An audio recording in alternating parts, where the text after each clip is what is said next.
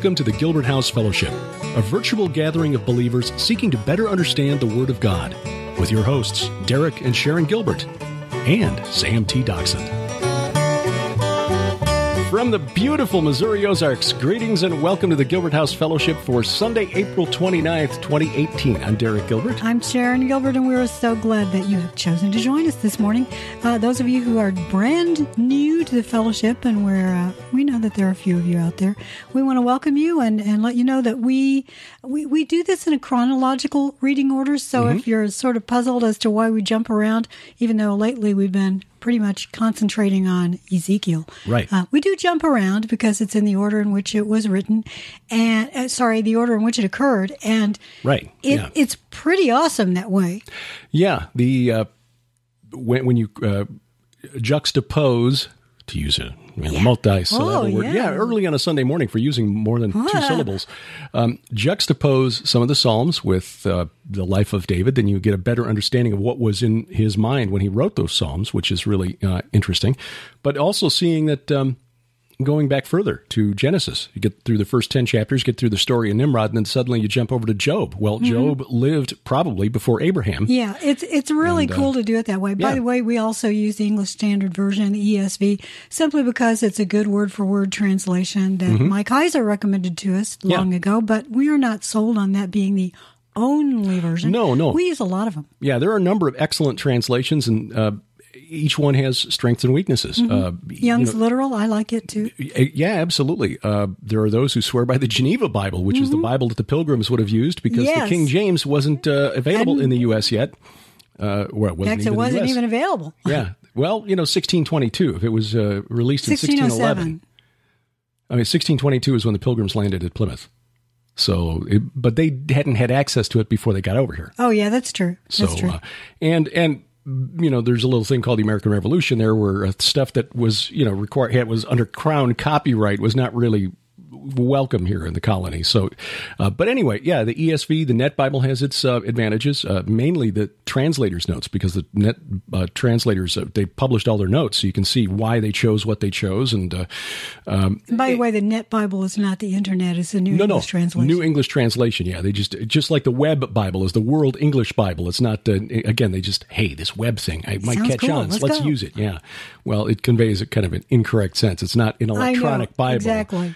Although you can find it online. But anyway, the, the point is, uh, as the translators of the King James Bible wrote 500 years ago, um, having access to multiple translations give, is is helpful to getting a better understanding of the Word of God. We choose the ESV again because it's a good word for word translation in a more modern English, as opposed to the say the NIV, which is thought for thought. But Mike also says this, and I think this is wise: the best Bible translation is the one that you're going to read. Mm-hmm.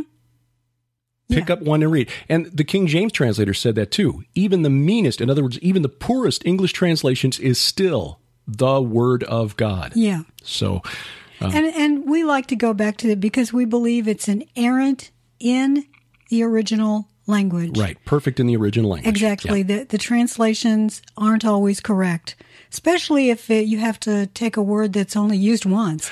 Yeah there are, well, going back to Job, Job has some archaic phrases and terms that uh, don't appear anywhere else in the Bible. And so it's difficult for modern translators, you know, 6,000 years after the fact, 4,000, well, 5,000 years after the fact, probably, to um, understand what was exactly precisely intended because uh, English and Hebrew don't have a one to one correlation either there are characters and sounds in Hebrew that don't exist in English. Yeah. Which is how we get uh, Har Moed into Armageddon. Yeah. There's no g sound in the word originally, but we put one in because that's the closest thing we English speakers can come up with. Well, it made sense so, to me at yeah. the time. I mean, no, no, it yeah. doesn't. So you have to read Derek's book, The Great Inception, to really get that. But yeah, well, it's not original research to me, but I'm grateful for scholars who've uh, who've proposed. Uh, the the uh, solution to to things mm-hmm. like that, and, yeah. and, how you get from one to the other. Yeah.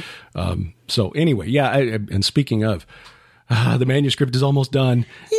Yay! And speaking of manuscript, Sharon's new book uh, novel, uh, Realms of Stone, is now available. Yeah, and we'll talk more about that on today's PID Radio. Yeah. So we're going to get into the study here because we've only got this this week as we're getting ready to head to Israel next week before. Uh, well, before we, will we be gone for hiatus. three weeks. Yeah, we, we are under no illusion that we're going to be able to continue this study or regular PID radio broadcast while we're over there. We may be able to record some things, and that would be cool to do some stuff from Israel. Yeah, we'll try our best. Just to but, say that but this is from not Israel. our job Yeah. while we're over there necessarily. Right. Um, but yeah, it's it's going to be really exciting. Um, so, shall we pray? Absolutely. Father, we thank you for bringing us together through this electronic medium to study your word. And uh, Lord, we just ask that you would open our hearts and our minds so that we understand it in the context that you transmitted it to the prophet. Help us to see the world through the eyes of Ezekiel to the best of our ability. Grant us wisdom, Lord, and discernment. And we ask this in Jesus' name. Amen. Amen. Yeah, because we're approaching some of the cool, cool stuff in uh, the book of Ezekiel, so we want to get there as fast as we can Yeah, I know. without Mm. skipping over anything. This has got so much Yeah. good in it. This one. Ezekiel 23 is where we begin. And um, yeah, he's uh, once again using a parable. Yeah. By the way, uh, if you see Lord in all caps, if you're Mm-hmm. new to this, we always that is actually the representation of Yahweh. Yeah. They put it in all caps. So either the word God or Lord in all caps, that is Yahweh. So Yeah. you'll hear us say Yahweh. And it's not that we believe that you need to use the name Yahweh in No. order for him to understand who you're talking to. It's easier not than a- saying Lord all caps. It, i- exactly. Yeah. It, it distinguishes from the word Lord, which just feels kind of generic. I mean, we need to understand in the divine council worldview that there are more than one, there's more than one resident of the supernatural realm, or more than just two being God and Satan. There, it's it's a fully, it's it, it's it's a very But, but when the Lord yeah. refers to himself as Yahweh, he's got a reason for that. And I like to make sure that that's right. included. Right, because that was how the prophets would have heard it. Mm-hmm. Yeah. The word of Yahweh came to me Son of man, there were two women, the daughters of one mother. They played the whore in Egypt. They played the whore in their youth. There their breasts were pressed and their virgin bosoms handled. Uh, again, God using Ezekiel to um, make a point and using very blunt language. You'd, you'd almost say crude in order Mm-hmm. To make the point, which he did. we would call it crude, but honestly, that was just part of life. True, true. Uh, for for let's say to our modern sensibilities, we would consider it crude. This Yeah. is not the kind of thing you would expect to see a Bible hear from a Bible teacher on Sunday morning. No, exactly. But look at Song, Song of Solomon. It has language like that in it Mm-hmm, all over. So that represents a pure relationship. Right. This It one, is- not so much. E- Exactly. And if you haven't guessed already, he's talking about the two kingdoms that split off from the sons of Jacob, Israel and Judah. Oholah was the name of the elder, that would be uh, the representation of uh, Israel, and Oholibah, the name of her sister. Actually, Ohola is Samaria. Well, Samaria, but that'd be the northern kingdom of Israel. Yeah. So- yeah. oh, sorry. They, they called themselves Israel after, Yes. yeah. But Samaria, correct. And, and Holabah, uh, which means, They both mean uh, of the tent or Yeah. woman of the tent. yeah, which is uh, interesting because uh, that's how Yahweh was depicted until Solomon built the temple. He was living in a tent, which, Yeah. yeah. Um, okay, Oholah was the name of the elder, Oholibah, the name of her sister. They became mine, and they bore sons and daughters. As for their names, Oholah is Samaria, and Oholibah is Jerusalem. So the capital cities of the two kingdoms. Right. Aholah played the whore while she was mine, and she lusted after her lovers, the Assyrians, warriors clothed in purple, governors and commanders, all of them, desirable young men, horsemen riding on horses. Notice, even in the pre Roman period, purple was the color of royalty. Mm-hmm. That's where the Phoenicians got their name, actually. Yeah, because it was an expensive dye to make. Right. You, you had to crush a lot of murex snail shells to get that uh, purple dye. Uh, she bestowed her whoring upon them, the choicest men of Assyria, all of them, and she defiled herself with all the idols of everyone after whom she lusted. She did not give up her whoring that she began that she begun in Egypt, for in her youth men had lain with her and handled her virgin bosom and poured out their whoring lust upon her. Therefore I delivered her into, into the hands of her lovers, into the hands of the Assyrians after whom she lusted. These uncovered her nakedness. That's just, again a euphemism for mm-hmm. sexual impropriety. They seized her sons and her daughters, and as for her, they killed her with the sword. And she became a byword among women when judgment had been executed on her.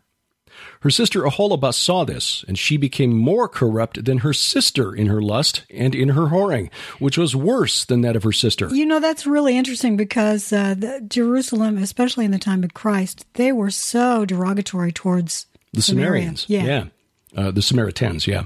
Uh, who, by the way, still exist today. Small community, but they still they're still there living in Israel. Is this one you or me? Uh, that one is you. Okay.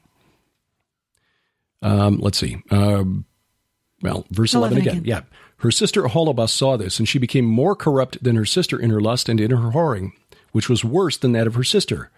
She lusted after the Assyrians, governors and commanders, warriors clothed in full armor, horsemen riding on horses, all of them desirable young men. And I saw that she was defiled. They both they both took the same way. Both sisters. Yeah. Okay. But she carried her whoring further.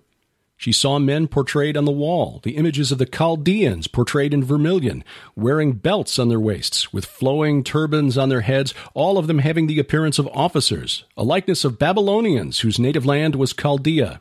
And just for reference, and this will I'll, I'll talk about this in my book, the Chaldeans, descendants of the Amorites. Mm-hmm. When she saw them, she lusted after them and sent messengers to them in Chaldea. And actually, this was something Hezekiah did. He was considered the good king. Look, look at all the treasures in our temple. Isn't this grand? Mm-hmm. Idiot. Yeah, Chaldeans, make note. Okay, this is what we're going to come back for in a few years.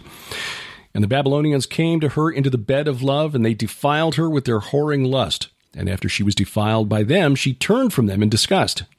When she carried on her whoring so openly and flaunted her nakedness, I turned in disgust from her, as I had turned in disgust from her sister.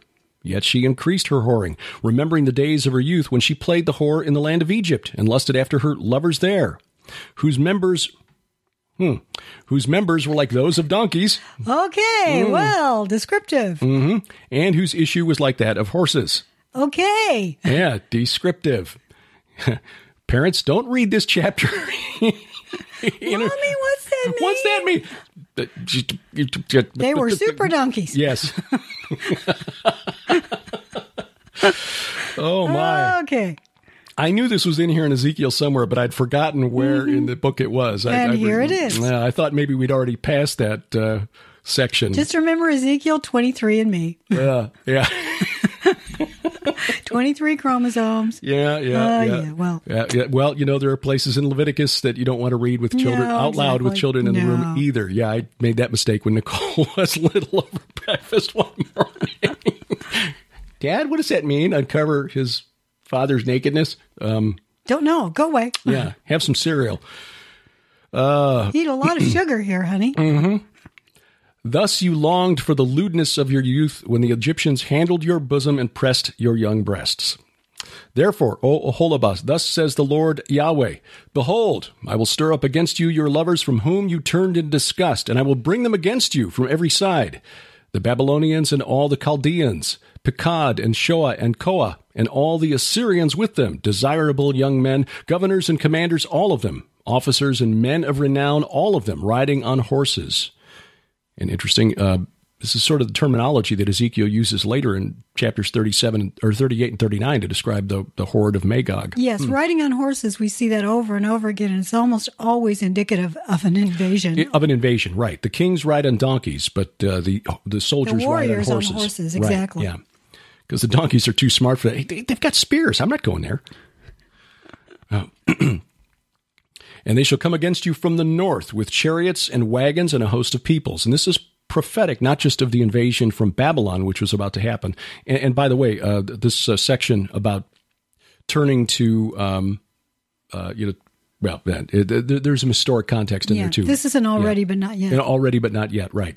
The invasion from the north is a theme that is repeated in the prophets, not just uh, Ezekiel, but uh, Jeremiah, Isaiah, uh, and it's for two reasons. One, that geographically speaking, invasions always came from the north because east of Israel, east of Moab and Ammon, is this huge desert, the Syrian desert. You don't march an army across that desert unless you want all your soldiers to die. Um, it's uh, Anbar province of Iraq today, basically. Uh, it's it's a wasteland. The only people there are what's left of the Islamic State because nobody wants to chase them into that desert. Um, so they would follow the Euphrates north, turn left on the caravan trail that went through Palmyra, and then come down from Damascus along the mountains. But it's more than just the geographic north. Uh, the, the spiritual north, the supernatural north, is where the enemies lie because Mount Hermon was to the north. Uh, Carmel, which was a mountain that was uh, used for Baal worship, uh, was during the time of Ezekiel, uh, th- that was sort of like the borderline between uh, Israel or the territory of Israel and Judah and the Phoenicians, and of course uh, Mount Zaphon, which means north. Uh, and and I just a scholar just pointed out in, in a paper I found the other day that. Um, Hebrew is is one of the Semitic languages related sort of to Amorite and Akkadian, but uh, in those languages, north is always the word simal, which means left because as you face the sun, it's on your left. But in Hebrew, Mount Zaphon, the mountain of Baal, was so important that Zaphon replaced Simal as the name of the compass point north. Yeah, I want to stop really briefly though, because if you look in the original Masoretic text, the it's uh, Bo al Hotzen Rekeb, Rekev. They will come against you with weapons, chariots and wagons, and with a company of peoples. North is not in here. Hmm. And if you look in, in the explanation for the ESV, it says Septuagint puts in something that may mean from the north. Oh, okay. All right. Yeah, you're right. It says the uh, yeah the the word comes uh, north was taken from the Septuagint. So the Jewish translators in the third century BC trying to interpret the Hebrew, and again, this gets to you know the use of archaic terms. Um, shows kind of what was in their mind and their, the doctrines that they had been taught. Well, it must mean north because the en- and this is the point I've been making. The enemy always comes from the north, whether it's a physical enemy like the Babylonians or the Assyrians, or the spiritual north, whether it's El or Melkart or Baal or whomever. They come from those places in the north where we know the gods assemble. Right. I want to go to the Septuagint really quickly and see what it says here. Uh, what's the verse again? It's verse 24. Ezekiel 23, 24 is what we're looking at here. And they shall, and they all shall come upon thee from the north, chariots and wheels with a multitude of nations, shields and targets, and the enemy shall set a watch. Yeah, it does have something in here. What what is in the original um, Greek? Don't know. Don't I don't read Greek, so Yeah. I'm yeah. looking at the Brenton translation of it. And, and of course, the Greek was what the uh, Septuagint w- translators produced from, Yes, from, the exactly. from the Hebrew texts that were available to them, Right. which sadly we don't have access to because anymore. at the time, Greek was the language, the lingua franca in some ways. After Alexander the Great Yeah. conquered the yeah the whole Near East. Um, so anyway, yeah, this is uh, indicates a couple of things. First of all, what uh, the, What the was the Septuagint minds, translators, yeah. what was in their minds, and they because again they understood that the enemy always comes out of the north, Mm-hmm. and we see that again reflected in Ezekiel thirty eight and thirty nine. Yeah. the uttermost parts of the north, Yeah. pointing to Mount Zaphon, the holy mountain of Baal. Uh, and they shall come against you from the north with chariots and wagons and a host of peoples. They shall set themselves against you on every side with buckler, shield, and helmet. Now, buckler we think of as a belt buckle, but that's not quite what that word means. No, it's a barbed hook. It can also mean a very large shield, uh, but in this case, since we see the word shield already, Mm-hmm. it probably this is a, a, an offensive weapon. Yeah, which likely is used to you know pull guys down off the wall. Yeah, Yeah, yeah, yeah. Also interesting that we get the term host of peoples. So this is a confederation. Mm. they shall set themselves against you on every side with buckler, shield, and helmet, and I will commit the judgment to them, and they shall judge you according to their judgments. In other words, I'm done with you. Let the Babylonians have you. Mm-hmm. And I will direct my jealousy against you, that they may deal with you in fury. They shall cut off your nose and your ears, and your survivors shall fall by the sword. They shall seize your sons and your daughters, and your survivors shall be devoured by fire. They shall also strip you of your clothes and take away your beautiful jewels. Thus I will put an end to your lewdness and your whoring, begun in the land of Egypt, so that you shall not lift up your eyes to them or remember Egypt any more. For thus says the Lord Yahweh Behold, I will deliver you into the hands of those whom you hate, into the hands of those from whom you turned in disgust, and they shall deal with you in hatred, and take away all the fruit of your labor, and leave you naked and bare. And the nakedness of your whoring shall be uncovered. Your lewdness and your whoring have brought this upon you, because you played the whore with the nations and defiled yourself with their idols. And that's the key point here. He's not talking about sexual impropriety although that may be part of it because some of the worship of these false gods required that. Sexual impropriety. Exactly. But the point is that it's a spiritual unfaithfulness. Mm-hmm.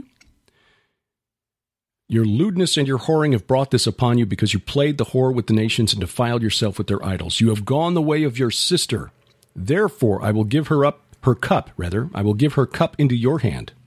Thus says the Lord Yahweh You shall drink your sister's cup that is deep and large. You shall be laughed at and held in derision, for it contains much. You will be filled with drunkenness and sorrow, a cup of horror and desolation, the cup of your sister Samaria. You shall drink it and drain it out, and gnaw its shards, and tear your breasts. For I have spoken, declares the Lord Yahweh. Therefore, thus says the Lord Yahweh, because you have forgotten me and cast, be, cast me behind your back, you yourself must bear the consequences of your lewdness and whoring. Yahweh said to me, Son of man, you, will you judge Oholah and Oholibah? Declare to them their abominations, for they have committed adul- they have committed adultery, and blood is on their hands. With their idols they have committed adultery, and they have even offered up to them the food or made to pass through the fire. they have offered up to them for food. Yeah, again, this is word for word into English, so it's uh, not constructed the same way necessarily an English speaker would.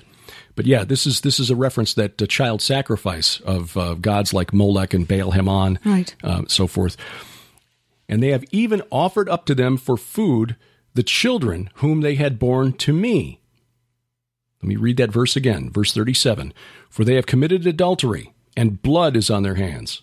With their idols they have committed adultery, and they have even offered up to them for food the children whom they had borne to me. You and I, I think we did a Sci Friday on this where we talked about the the the pillar that had the four sides and the Yes. various bas relief uh, imagery that was on it. Yeah. And one of them showed very clear representation of child sacrifice. Right. And it's this horrendous uh, chimeric creature Right. who's eating from a bowl that clearly has a child in it. Yeah, it's uh, Pozo Moro, P O Z O M O R O. Uh, I make reference to that in the forthcoming book. And you're right, these monsters are clearly eating. Well, a little bowl there, you've got little legs sticking out. It's pretty clear what those things are.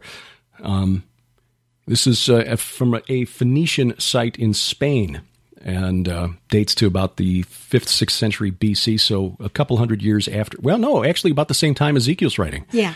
the Phoenicians, who were descendants of the Amorites, worshippers of Molech and uh, uh, uh, Chemosh. Yeah. uh, so it gives you an idea what they were doing. exactly, and and so this is the type of thing that God was condemning them for, uh, because the Phoenicians had spread out uh, to basically cover the whole Mediterranean, and uh, you know L.A. Marzulli and others believed that they actually spread to the Americas. Yeah. And we're going to be taking a look at the island of Sardinia to see how that connects. There are a number of Phoenician Tophets on Sardinia. Yeah. Okay. Um, 38. Verse 38 Moreover, this they have done to me. They have defiled my sanctuary on the same day and profaned my Sabbaths. For when they had slaughtered their children in sacrifice to their idols, on the same day they came into my sanctuary to profane it. Let's go sacrifice down in the valley of the son of Hinnom, and then we'll go to the temple. Yeah. Mm. We'll hedge all our bets. Mm-hmm. And behold, this is what they did in my house. They even sent for men to come from afar, to whom a messenger was sent. And behold, they came. For them you bathed yourself, painted your eyes, and adorned yourself with ornaments. Wonder if this is uh, a reference back to Hezekiah calling the uh, ambassador from Babylon and showing him around the temple Possibly. Shouldn't have been allowed in. You sat on a stately couch with a table spread before it, on which you had placed my incense and my oil. The sound of a carefree multitude was with her, and with men of the common sort. Drunkards were brought from the wilderness, and they put bracelets on the hands of the women and beautiful crowns on their heads. Then I said of her who was worn out by adultery, Now they will continue to use her for a whore, even her. An alternate translation, Uncertain. uncertain. Hmm. For they have gone into her as men go into a prostitute. Thus they went in to Aholah and Aholibah, lewd women. But righteous men shall pass judgment on them with the sentence of adulteresses, and with the sentence of women who shed blood, because they are adulteresses, and blood is on their hands. For thus says the Lord Yahweh Bring up a vast host against them, and make them an object of terror and a plunder. And the host shall stone them, and cut them down with their swords. They shall kill their sons and their daughters and burn up their houses. Thus I will put an end to lewdness in the land, that all women may take warning and not commit lewdness as you have done.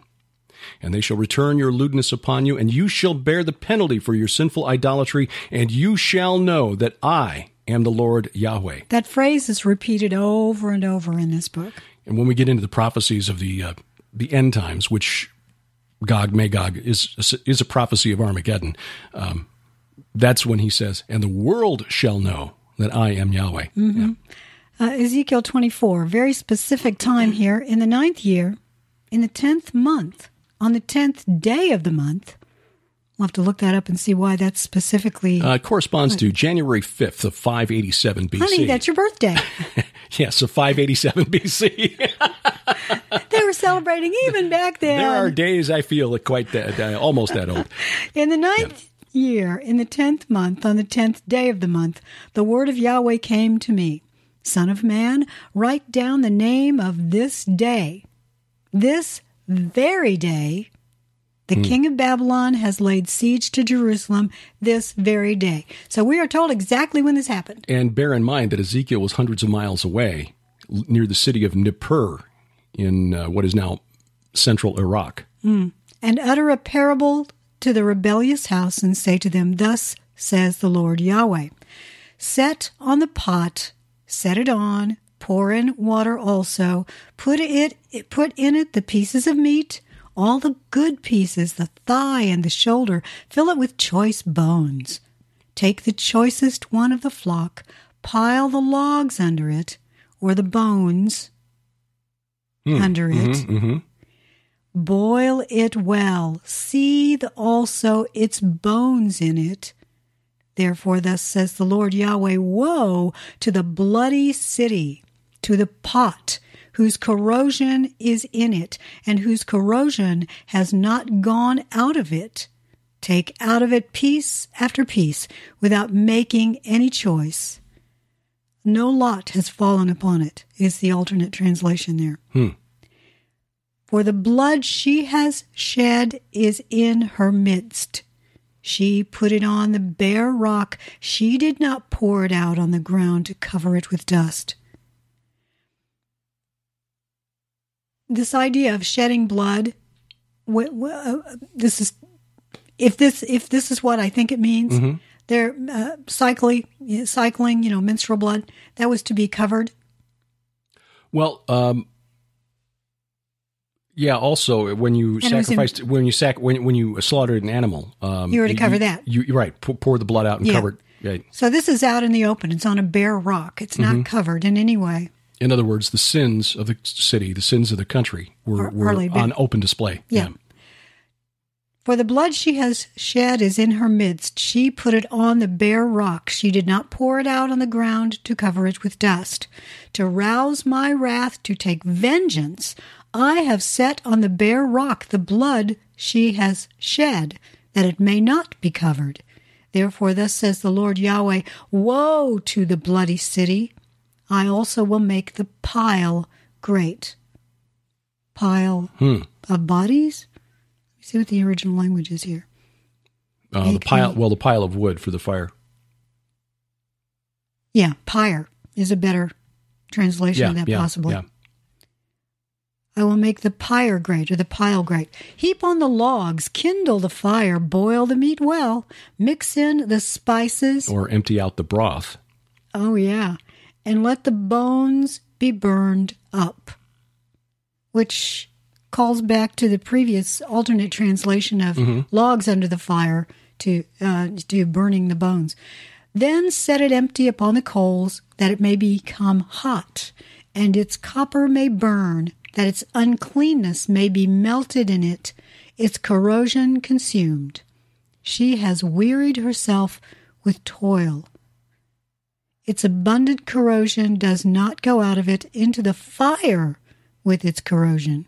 On account of your unclean lewdness, because I would have cleansed you, and you were not cleansed from your uncleanness, you shall not be cleansed any more, till I have satisfied my fury upon you. I am Yahweh. I have spoken. It shall come to pass. I will do it. I will not turn back. I will not spare. I will not relent according to your ways and your deeds. You will be judged, declares the Lord Yahweh. Can't make it much more clear mm-hmm. than That's that. pretty plain, yeah. The word of Yahweh came to me Son of man, behold, I am about to take the delight of your eyes away from you at a stroke. Yet you shall not mourn or weep, nor shall your, uh, your tears run down. Sigh, but not aloud. Make no mourning for the dead. Bind on your turban and put your shoes on your feet. Do not cover your lips, nor eat the bread of men. Hmm. So I spoke to the people in the morning, and at evening my wife died. And on the next morning I did as I was commanded. That had to have been really hard. You would think. And the people said to me, Will you not tell us what these things mean for us, that you are acting thus? Hmm. In other words, why aren't you mourning? What's yeah. your problem? Then I said to them, The word of Yahweh came to me. Say to the house of Israel, Thus says the Lord Yahweh, Behold, I will profane my sanctuary, the pride of your power, the delight of your eyes, and the yearning of your soul, and your sons and your daughters whom you left behind shall fall by the sword. And you shall do as I have done. You shall not cover your lips nor eat the bread of men. Your turbans shall be on your heads and your shoes on your feet. You shall not mourn or weep, but you shall rot away in your iniquities and groan to one another. Thus shall Ezekiel be to you a sign. According to all that he has done, you shall do. When this comes, then you will know that I am the Lord Yahweh. As for you, Son of Man, surely on the day when I take from them their stronghold, their joy and glory, the delight of their eyes and their soul's desire, and also their sons and daughters, on that day a fugitive will come to you to report to you the news. On that day your mouth will be opened to the fugitive, and you shall speak and be no longer mute. So you will be a sign to them, and they will know that I am Yahweh. Hmm.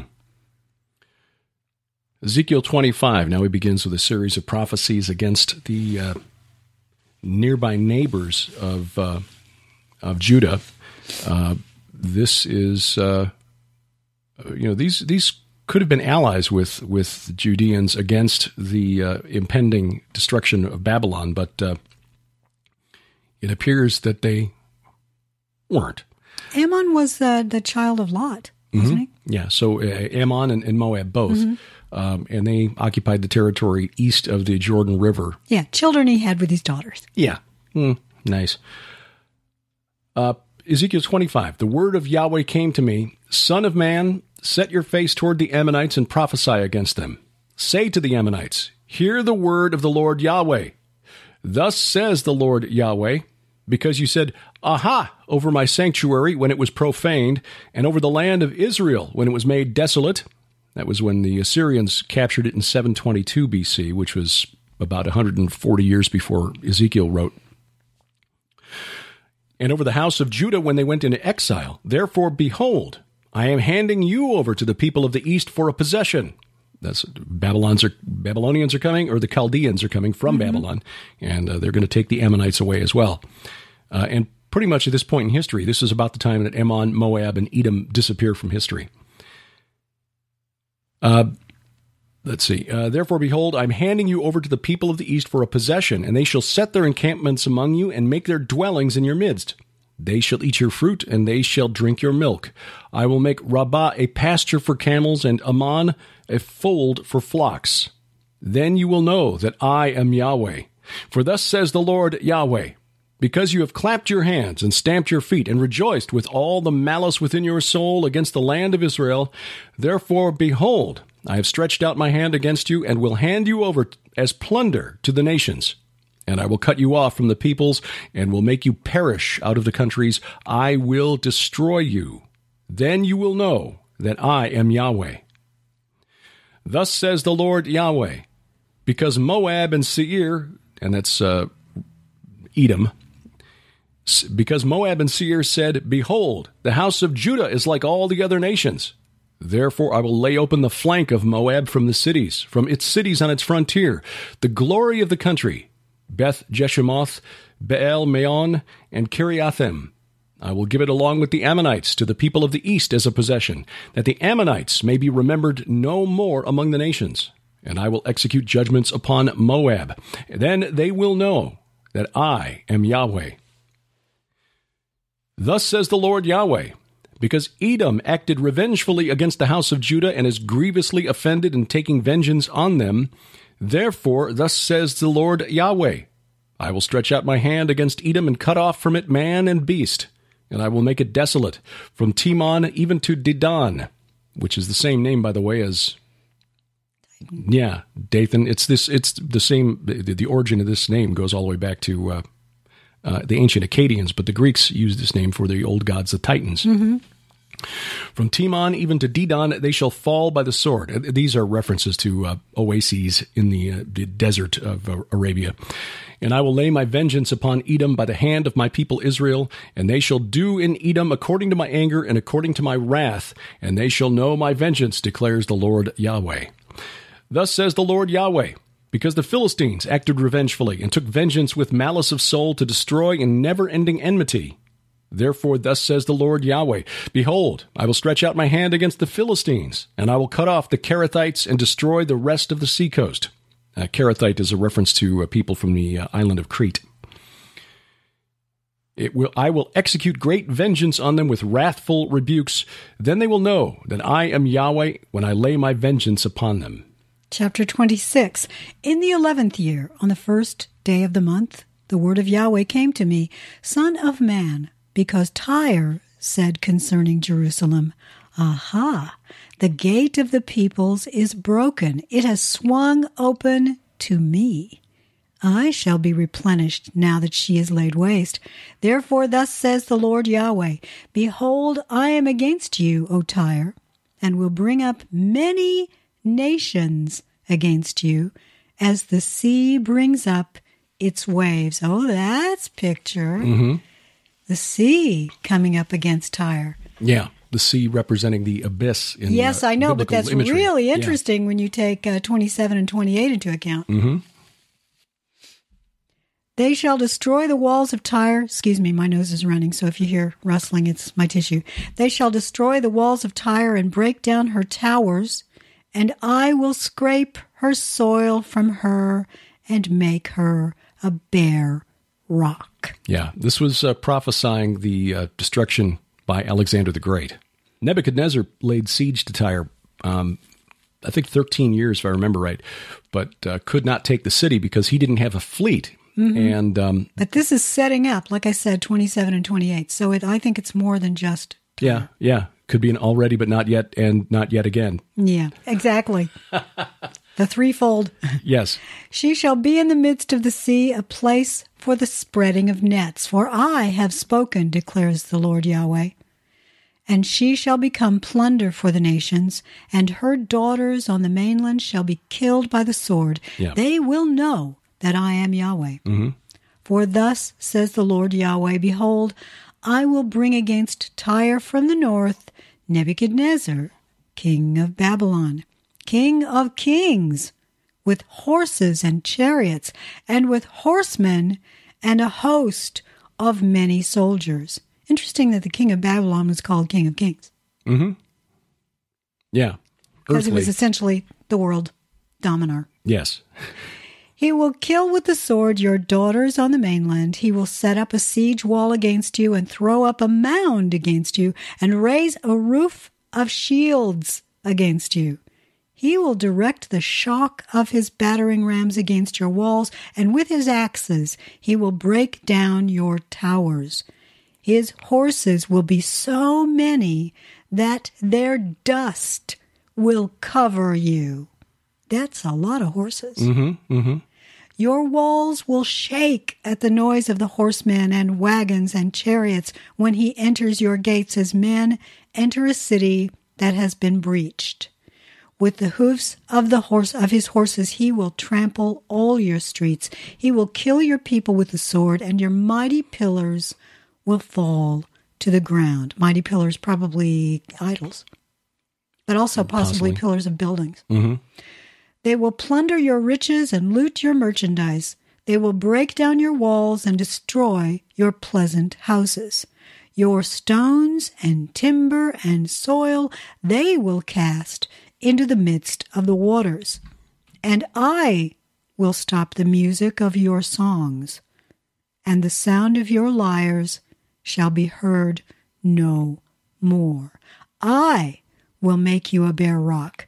You shall be a place for the spreading of nets.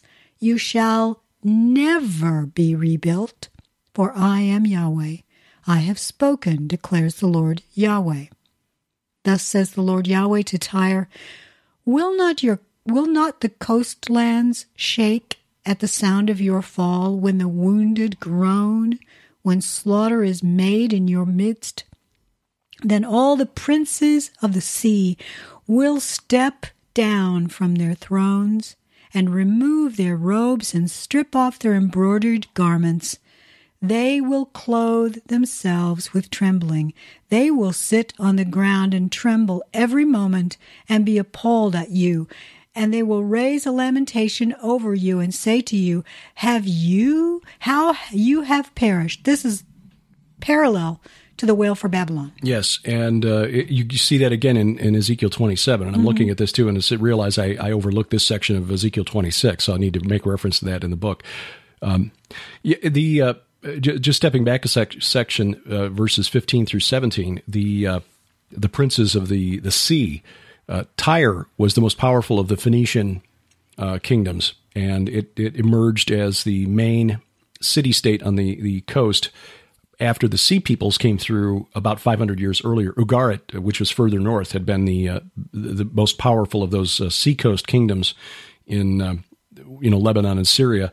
But uh, the the Sea Peoples, the Philistines, and uh, their allied uh, peoples who. who at the end of the Bronze Age, swept down from what is now Turkey and basically destroyed the Hittite Empire and then destroyed most of the states in what is now Lebanon and Syria. Um, when they rebuilt, Tyre emerged as the most powerful, but it, it sent out these colonies all throughout the Mediterranean, including Sardinia, which is why we mentioned it earlier. But Carthage was the biggest and the most famous. And it was about this time that Carthage, which had been sending tithes back to Tyre, uh, emerged as an independent state on its own and just kind of broke ranks with Tyre. The the chief god of Tyre, as we mentioned in the uh, First Kings, uh, the confrontation between Elijah and uh, the prophets of um, uh, of Baal was actually Melkart, um, which AKA. yeah, Hercules, Heracles to the Greeks. Um, the uh, the Carthaginians chose as their chief god Baal Hammon, who was Kronos, the king of the Titans, who was El of the Canaanites. Uh, so there there was some differences between them, but yeah, at this point you, you're looking at uh, until Nebuchadnezzar essentially uh, hamstrung Tyre. Alexander finally destroyed it a couple hundred years later, uh, but Nebuchadnezzar. Um, they, they finally the Tyrians finally sued for peace and the royal house was deported. So they, they were basically um, you know made made an unimportant city at that point. Uh, and, that, and that's why the, the princes of the Phoenicians who had set up all these colonies around the Mediterranean and what is now Greece and Spain and North Africa were freaking out that their home city was suddenly being you know attacked by Babylon. Um, I'll go back to 16. Then all the princes of the sea will step down from their thrones and remove their robes and strip off their embroidered garments. They will clothe themselves with trembling. They will sit on the ground and tremble every moment and be appalled at you. And they will raise a lamentation over you and say to you, How you have perished, you who were inhabited from the seas. O city renowned, who was mighty on the sea, she and her inhabitants imposed their terror on all her inhabitants. Now the coastlands tremble on the day of your fall, and the coastlands that are on the sea are dismayed at your passing. For thus says the Lord Yahweh, when I made you a city laid waste, like the cities that are not inhabited, when I bring up the deep over you, and the great waters cover you. Then I will make you go down with those who go down to the pit, to the people of old, and I will make you to dwell in the world below. The people of old. Yes. Olam. Yeah. what- meaning yes. that means everlasting, long time, eternal. Old as in ancient of days kind of old. Here's That's the thing, and I will make you to dwell in the world below, Mm-hmm. Among ruins from of old, Hmm.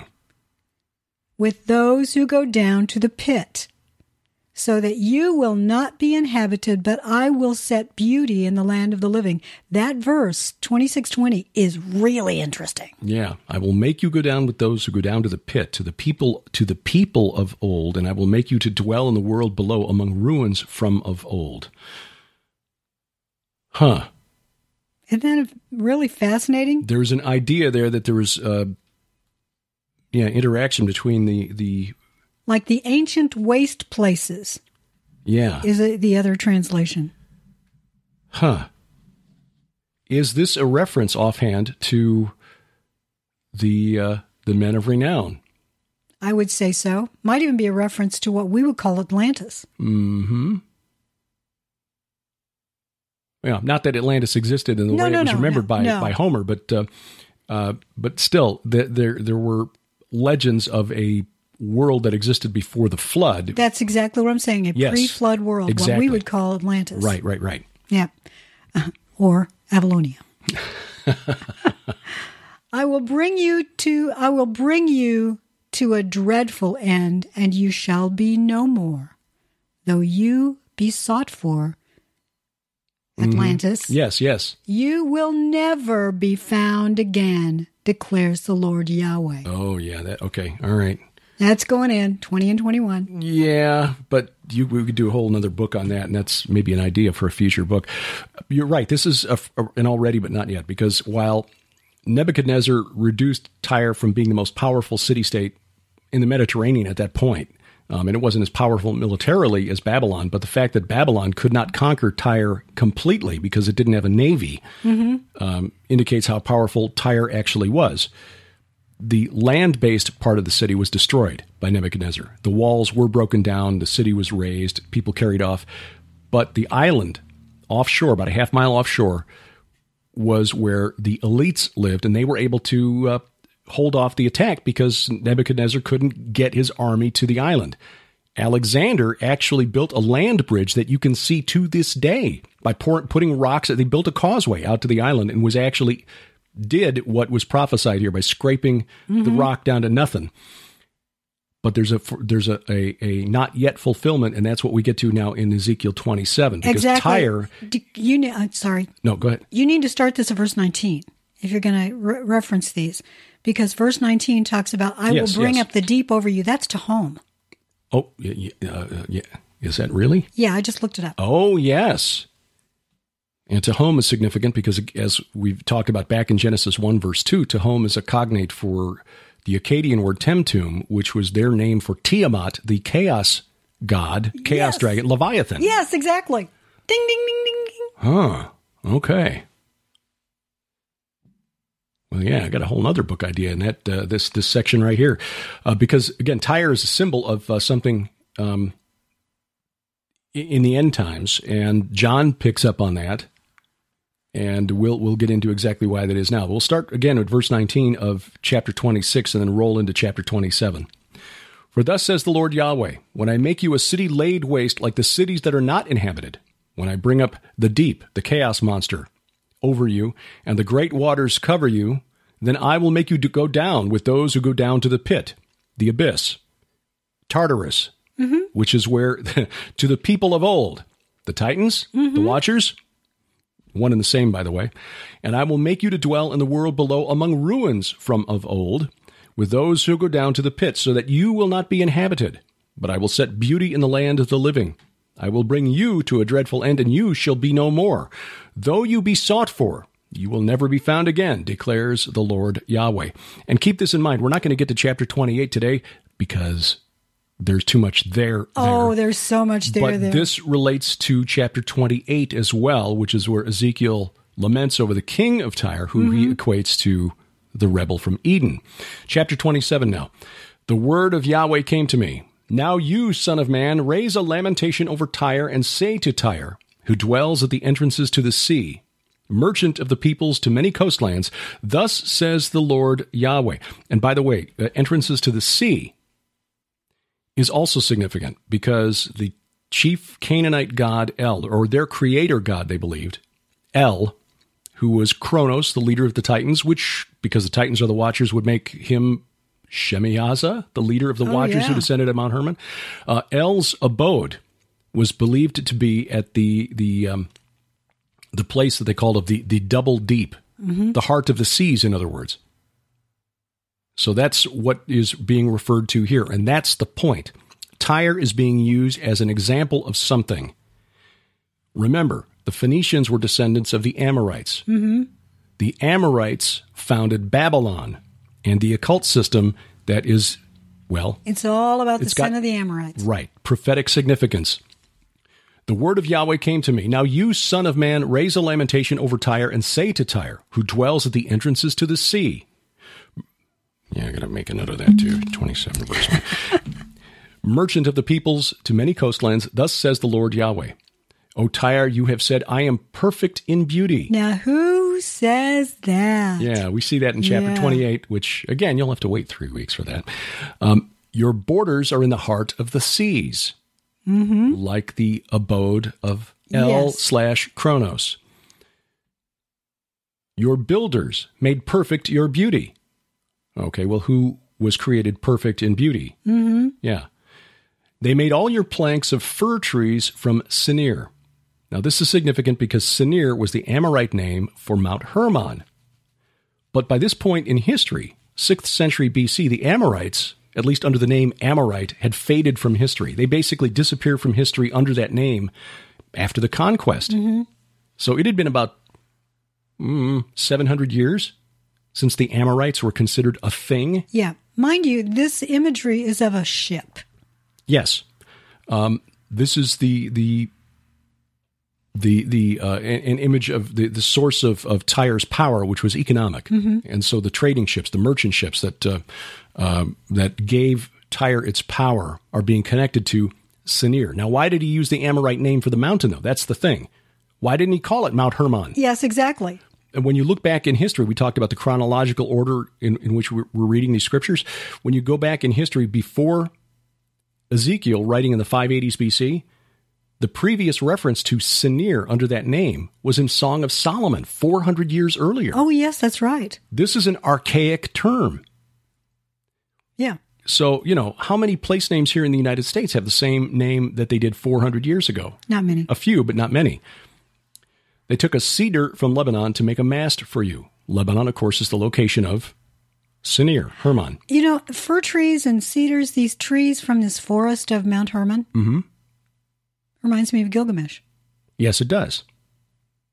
And the, yeah, right. The Gilgamesh epic, when uh, Gilgamesh and Enkidu had to go destroy the, uh, they, they went to make a name for themselves by killing the guardian of the cedar forest, which was in Lebanon. Yes. Rabbit trailing. Uh, the guardian was named Humbaba, but it could also be vocalized Huwawa. And uh, David Livingston, who's the founder of Associates for Biblical Research, uh, he's an archaeologist. He's passed away now. Argued that Huwawa might have been a Mesopotamian transliteration of Yahweh. Oh, that's very strange. Yeah. So Gilgamesh went to kill Yahweh on Mount Hermon. Oh, that's really interesting. Possibly, possibly. Now, we don't know that that's what it actually means, but, Right. He but it's, yeah. Yeah, he's, there aren't many scholars who subscribe to that, but uh, you know, Dr. Livingston made that uh, you know observation. But um, when Gilgamesh and Enkidu went to kill Humbaba, the the text from the old Babylonian text or copy of the Gilgamesh epic, which from about the time of Abraham, said they they penetrated the secret dwelling of the Anunnaki. That's significant because the old gods of the Sumerians, who had been the chief gods of Sumer, by the time of Abraham, were considered gods of the underworld. They had been demoted. Yes. It's another retelling of the Titan epic where they get were overthrown, demoted, sent to the underworld. The very thing we talked about on Sci Friday this week. Exactly. The Watchers being condemned to the underworld, same thing over and over It's again. rebellions all the way down. Exactly. They made your planks of fir trees from Senir. They took a cedar from Lebanon to make a mast for you. Of oaks of Bashan, Oh, they yeah. Mm-hmm. made your oars. Again, he's connecting the source of Tyre's wealth and power To the Amorites. to the Amorites and to that specific spiritual location, Mount Hermon, the abode of the underworld gods, the Anunnaki, of El, where he lived with his 70 sons, the gods of the nations. They made your decks, uh, the deck of pines from the coasts of Cyprus. Cyprus colonized by Amorites, inlaid with ivory. A fine embroidered linen from Egypt was your sail. Little callback there to the Egyptians. Shout out to our homies in uh, in Egypt. Was your sail serving as your banner? But during the Exodus, or during the sojourn in northern Egypt, Egypt was ruled by Amorites. Amorites.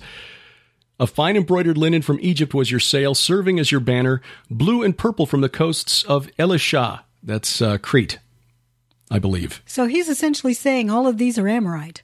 Uh, yes. Or the, well, the coast of Elishah. Elishah is another name for Cyprus. Right? Yes, yes, it is. Um, the inhabitants of Sidon and Arvad were your rowers. Sidon was another Phoenician city, so was Arvad. Your skilled men, O Tyre, were in you. They were your pilots. The elders of Gebal, another Phoenician coastal city, and her skilled men were in you, caulking your seams. All the ships of the sea with their mariners were in you to barter for your wares. In other words, this is a an Amorite venture, and the means by which they gathered together to to uh, uh, you know build up their power and their, their came from the uh, the resources that they derived from Hermon and Bashan, which was the the entrance to the underworld in This their is religion worldwide cr- commerce rooted in the Amorite worship. of the gods of the dead, Yes, essentially exactly. the old gods. Yeah, Persia and Lud and Put. That's uh, Libya and uh, well, wait, Lud is Lydia. That's uh, Asia Minor. That's uh, modern day Turkey. Uh, Put is um, Ethiopia. Were in your army as your men of war. They hung the shield and helmet in you. They gave you splendor. Men of Arvad and Helech were on your walls all around, and men of Gamad were in your towers. And uh, those are cities, Helech and Gamad, that we have not been identified by scholars. They hung your shields on your walls all around. They Well, made perfect. Gamadim are, are just brave men or valorous men. Mm, okay. Uh, hung their shields on your walls all around. They made perfect your beauty. Tarshish did business with you because of your great wealth of every kind. Tarshish, uh, a kind of a almost a, a legendary city for its wealth and trading. We see uh, the merchants of Tarshish mentioned several times in the Bible. Uh, there are some who believe that this is um, Tiras, T I R A S, who was mentioned as one of the sons of uh, Javan in uh, the book of Genesis. Javan was the uh, progenitor of the Greeks. Uh, some believe that this was a reference to the Etruscans who f- settled in uh, Italy before the Romans. Tarshish did business with you because of your great wealth of every kind silver, iron, tin, and lead they exchanged for your wares. Javan, Greece, Tubal, and Meshech traded with you. Uh, Tubal and Meshech are mentioned later in Ezekiel 38. They're part of the coalition that comes against uh, um, Israel. And they're in Turkey. They're in Turkey, right?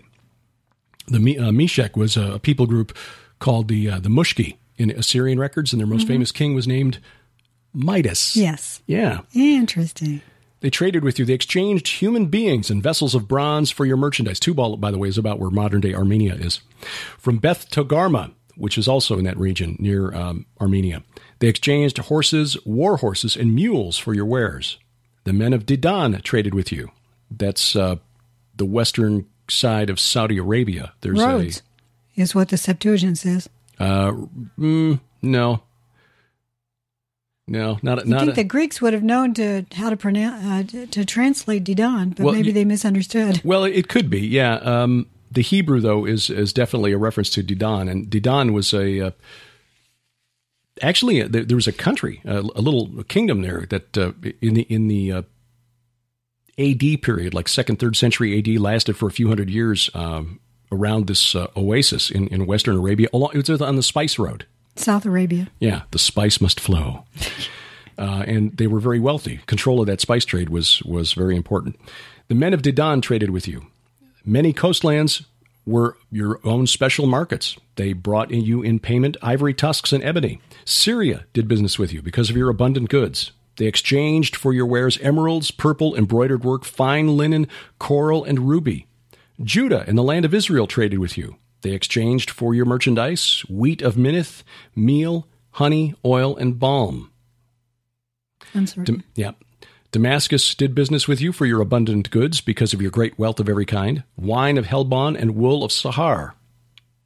Sahar is an, uh, I think that's a familiar name, but I don't, it's not coming to mind.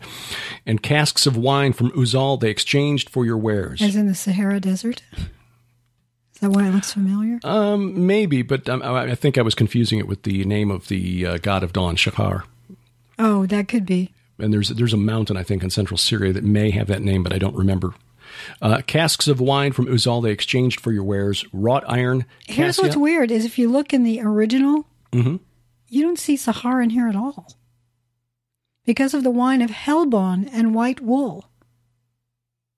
Hmm. It doesn't say where it's from in the uh, the Masoretic text. Okay. I think the Septuagint puts in there. Well, I'm I'm seeing Hebrew word Sahar, but it just is noun, a pro, just a proper noun. So it's a place, but The wool of wool of Sahar, verse 18. oh, I see, I see, Sakhar. Yeah. Yes. Yes. Sahar.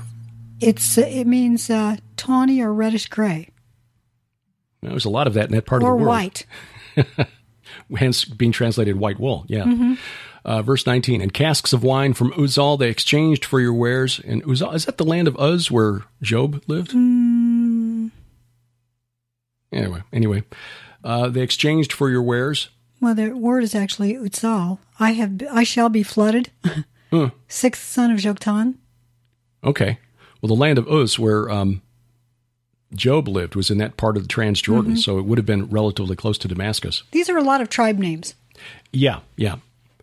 They exchanged for your wares. Wrought iron, cassia, and calamus were bartered for your merchandise. Dedan traded with you in saddlecloths for riding.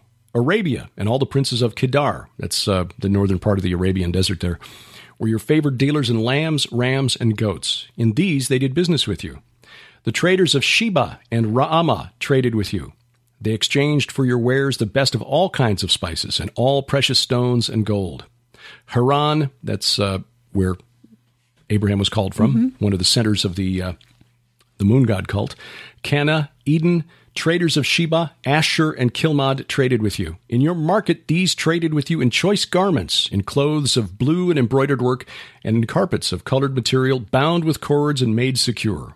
The ships of Tarshish traveled for you with your merchandise, so you were filled and heavily laden in the heart of the seas. Your rowers, and, and this is where we get into the section that John uh, echoes in the book of Revelation, Revelation mm, 18. Your rowers have brought you out into the high seas. The east wind has wrecked you in the heart of the seas. East, by the way, the direction of the entrance to Eden, also the entrance to the temple. This is God destroying Tyre and the future prophesied Tyre. And it's getting wrecked in the heart of Yam. Yes. Yam being the Canaanite sea god, which represents, again, chaos, the abyss. Um, and the heart of the seas being a reference to the abode of El. Yes. Just uh, another reference to that. The east wind has wrecked you in the heart of the seas. Your riches, your wares, your merchandise, your mariners and your pilots, your caulkers, your dealers in merchandise, and all your men of war who are in you, with all your crew that is in your midst, sink into the heart of the seas on the day of your fall. At the sound of the cry of your pilots, the countryside shakes, and down from their ships come all who handle the oar. The mariners and all the pilots of the sea stand on the land and shout aloud over you and cry out bitterly. They cast dust on their heads and wallow in ashes. They make themselves bald for you and put sackcloth on their waist. And they weep over you in the bitterness of soul with bitter mourning. In their wailing, they raise a lamentation for you and lament over you. Who is like Tyre, like one destroyed in the midst of the sea? Fallen, fallen, is Babylon, the Great. When your wares came from the seas, you satisfied many peoples. With your abundant wealth and merchandise, you enriched the kings of the earth. Now you are wrecked by the seas in the depth of the waters. Your merchandise and all your crew in your midst have sunk with you. All the inhabitants of the coastlands are appalled at you, and the hair of their kings bristles with horror. Their faces are convulsed. The merchants among the peoples hiss at you. You have come to a dreadful end, and shall be no more forever. And that is, again, the uh, prophecy of a future date and or future uh, fulfillment. Yes. And let me just uh, show you. And this is a this is a little sneak preview at what's Oh, coming in August. Uh, key phrases from Ezekiel 27, which we just read, and Revelation 18, which is the prophecy of the fall of Babylon the Great. Ezekiel 27:33 we just read, enrich the kings of the earth. Revelation 18:9, the kings of the earth lived in luxury with her. Ezekiel 27 verses 28 through 30, uh, 36. We, basically, you see, as we just read, uh, the fall of Tyre is lamented by mariners, the pilots of the sea, merchants, kings. Same thing in Revelation, chapter uh, 18 verses 9 through 19. You'll see it there when you read through. The fall of Babylon, lamented by kings, merchants, shipmasters, and seafaring men.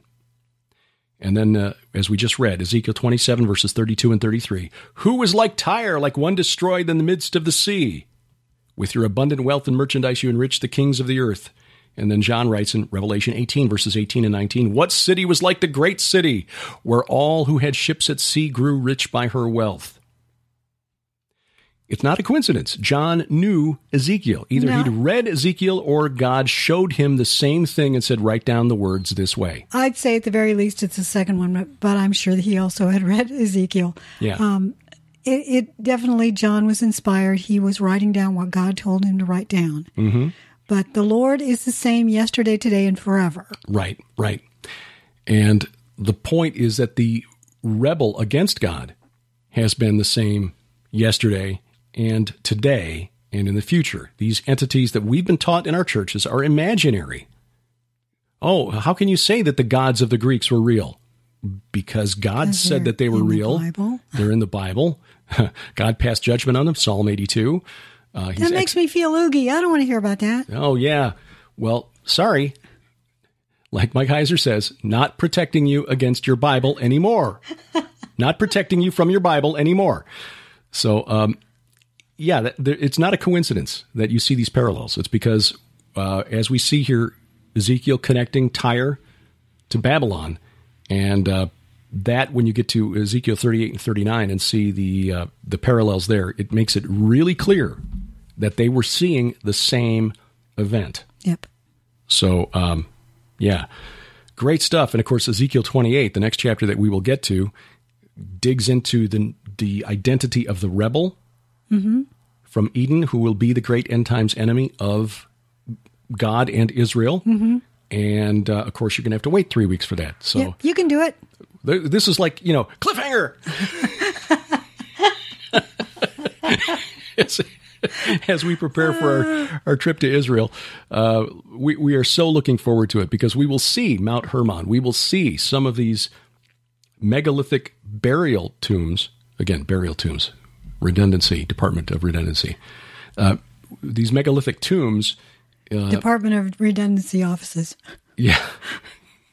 and uh, we we will take as many pictures and uh, as much video as we can to share, so that we can be your eyes and ears while we're while we're there. Um, you know, it's just still find it hard to believe that God has opened this door for us to to do this because this is a, a once in a lifetime thing. It's it's an amazing amazing opportunity, and we are we are truly blessed. And hopefully, we can share some of the the awe and wonder that we will no doubt feel. Amen to that. And we, we really cherish and appreciate your prayers as we get ready to go this week. There are lots of things we have to make sure that we, you know, little boxes that we have to check off, Right. make sure we did this, did this, this, this.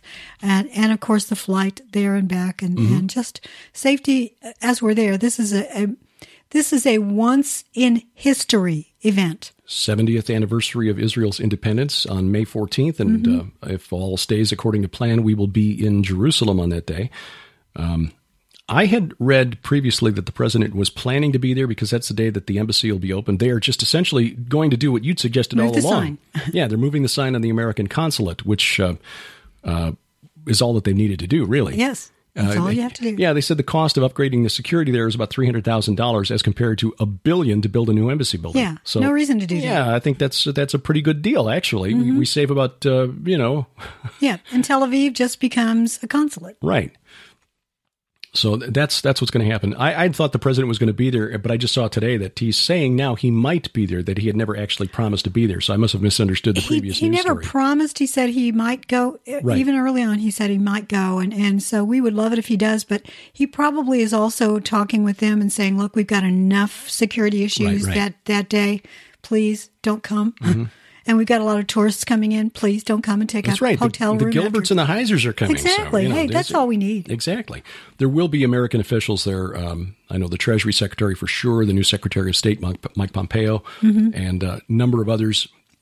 Plus, you know, all kinds of all kinds of tourists. I'm sure are, are trying to get into Israel now for that that day. Mm-hmm. Um, again, God kind of opened this door because we had planned on this day months before the. Uh, the, the move, the embassy move was announced. So Mm-hmm. we, we knew that uh, when the we were offered several different sections of days, is let's take that one because that'll fall on that day.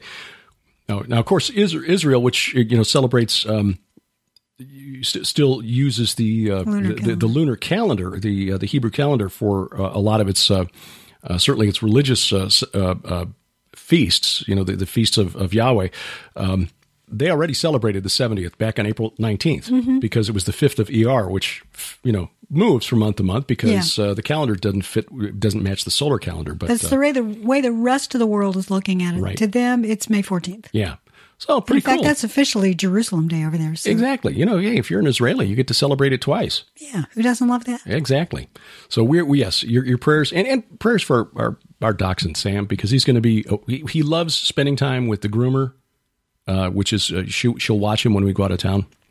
He gets really excited when he sees us start to pack our bags because it means he gets to go visit his friends Gracie and Copper, And Aunt Eileen. and you know Aunt Eileen, who's uh, you know knows the dachshund mentality. But uh, this th- three weeks apart, this will be the longest that we've been away from him. Yeah. So uh, your prayers for Sam um, appreciated as well. Father, we thank you for bringing us together over your word and for the amazing, amazing levels of meaning that, uh, that, that are in your word. We'll never fully understand. But Lord, we just pray that uh, you'll open our minds and grant us wisdom to understand to the best of our ability. And please, Lord, we ask that you help us not to add anything to your word or take anything away from it. Help us not to impose our own worldview, our own understanding onto your word. And uh, Father, we just pray that uh, as we take these weeks to to visit the land where you walked when you were among us, as as a man, for your protection over the uh, the group that is uh, will be gathering and flying there with us, that you will bless the time that we spend, and help, Lord, to deepen our faith. We pray, Father, for your blessing on those who are doing the hard work, the hand to hand combat, Lord, in the spirit realm. The missionaries who are taking the gospel to the ends of the world, ends of the earth, to those who are ministering to the broken in spirit, the broken in body, those who are struggling financially, emotionally. Lord, we ask for your spirit to comfort and protect. Father, we ask for your blessing and we give thanks. In Jesus' name, amen. Amen. Well, until we're back from the Holy Land, I'm Derek Gilbert. I'm Sharon Gilbert. Bye bye, everybody. Thank you for joining us. We post a new Bible study each Sunday morning. Subscribe to the podcast and explore the archives online at gilberthouse.org.